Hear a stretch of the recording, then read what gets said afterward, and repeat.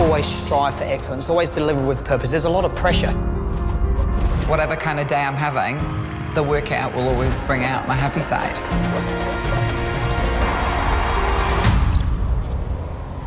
What about the rest of you? Body combat,